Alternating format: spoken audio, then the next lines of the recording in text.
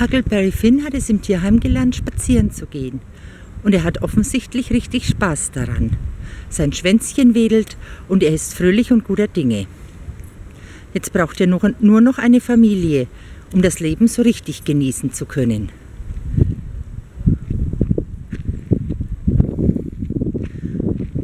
Wollen Sie vielleicht Sie diesem Schätzchen ein neues Lebensglück schenken?